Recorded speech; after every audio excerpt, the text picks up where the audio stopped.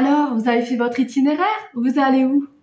C'est la question qu'on nous pose depuis six mois qu'on a décidé de tout quitter pour voyager à vélo.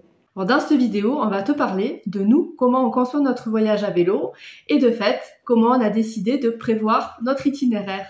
On s'en remet à mon pendule pour ça. Notre conception du voyage, on ne part pas pour défendre une cause, si ce n'est le voyage lent, écologique et autonome respecter euh, la nature et les êtres vivants. Le monde se rétrécit de plus en plus, la biodiversité disparaît, donc nous on veut partir à la découverte du monde et de sa beauté, rencontrer les gens, les différentes cultures avant que tout soit uniformisé par la mondialisation. C'est un peu un voyage initiatique, à deux, à la découverte euh, du monde, de l'autre et de soi.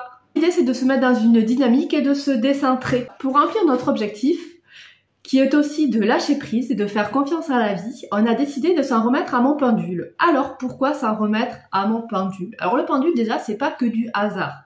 C'est aussi se reconnecter à ce qui fait vraiment sens pour soi. D'arrêter de réfléchir avec le mental, le cerveau, et de faire les choses par rapport à son cœur. Et débrancher le cerveau, c'est pas franchement évident. Donc ça permet ça, le pendu. Ensuite, on a la chance de pouvoir partir sans durée déterminée. Vu qu'on quitte tout, on peut partir, voilà. Voilà, quand on en aura marre, euh, on reviendra ou on reviendra pas si on se pose euh, quelque part.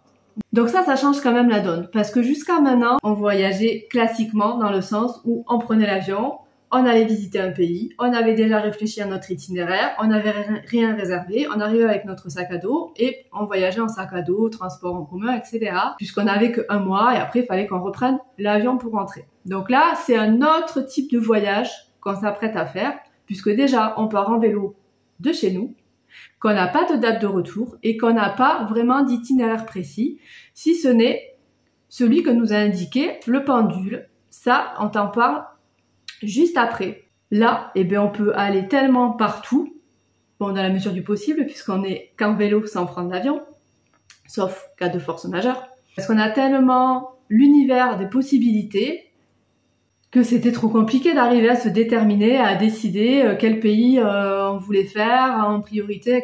Donc on a décidé de poser la question à mon pendule. L'idée de ce voyage, ce n'est pas de tracer un chemin, un itinéraire précis mais plutôt euh, d'ouvrir l'horizon, d'élargir les possibilités, d'expérimenter, de se perdre pour mieux se retrouver. Alors peut-être que pour ça, euh, ben, on va tourner en rond, je sais pas. Petite précision pour que tu puisses comprendre, quand le pendule tourne sur la gauche, ça veut dire pour moi le oui. Quand ça tourne sur la droite, c'est pour moi le non. Allez, c'est parti. Point de départ. Bon, visiblement, part de chez nous. Itinéraire idéal pour notre voyage à vélo.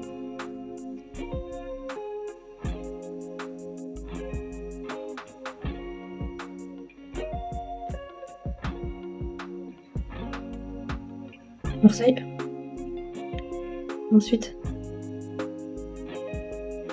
bateau. Ajaccio. Corse tour de la Corse.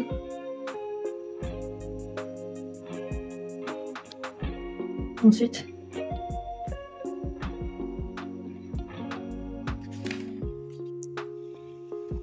Corse, Sardaigne, Sicile, Italie, remonter l'Italie. Après l'Italie, Suisse. Ok. Après la Suisse. Sachant que ça sera modifié au gré des rencontres et du voyage. L'Autriche. République tchèque. Slovaquie. Hongrie. Ensuite Serbie Bosnie, Monténégro, Albanie, Macédoine. Grèce.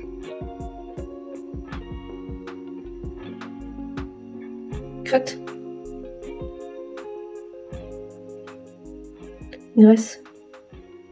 Bulgarie. Roumanie.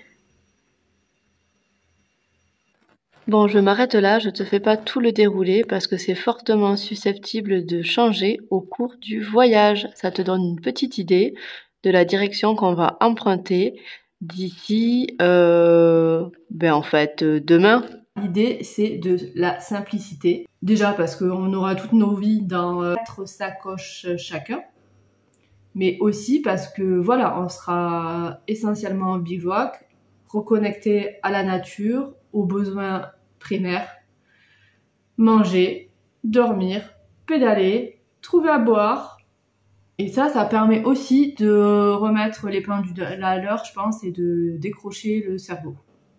C'est pour ça que je suis pas sûre qu'une fois qu'on sera sur la route, euh, on va faire beaucoup de vidéos sur YouTube, même si j'aimerais bien qu'on vous fasse partager, euh, vous faire partager un peu du coup ce que ça nous aura appris et les erreurs qu'on aura faites, les solutions qu'on aura trouvées, etc. Parce que l'idée c'est quand même que ça t'apporte quelque chose, pas de raconter ma vie.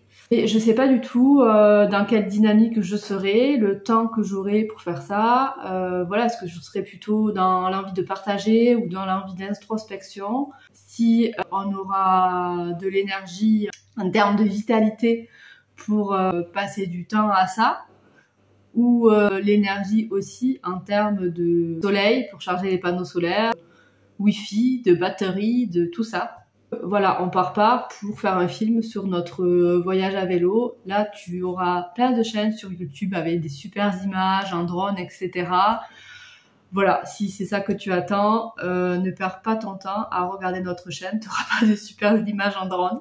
On n'a pas de drone. Si tu as bien aimé cette vidéo, appuie sur le pouce pour me le faire savoir et abonne-toi. N'hésite pas à la partager et à poser tes questions en commentaire. Il y a une luminosité un peu chelou là.